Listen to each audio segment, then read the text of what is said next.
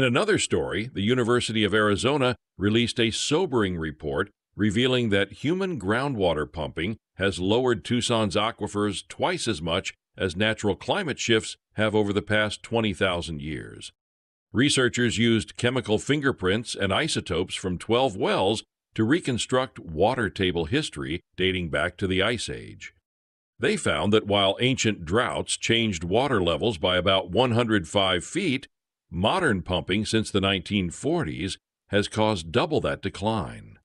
Senior author Dr. Jennifer McIntosh said it plainly even a really wet climate wouldn't save us. We could not recover the amount of groundwater that's been removed.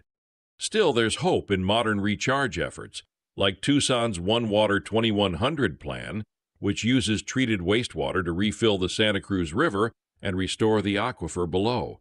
It's a striking example of how science can help us understand the past and guide more sustainable choices for the future.